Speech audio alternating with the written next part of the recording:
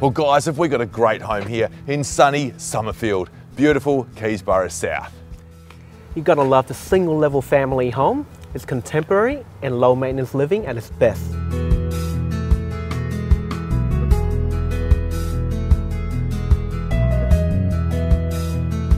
Well, what we've got here is a home that's been upgraded with features galore, from those high ceilings to that extra large garage and even attic storage. But what I really love is this open plan kitchen, dining, through to your rumpus and rear family and living area.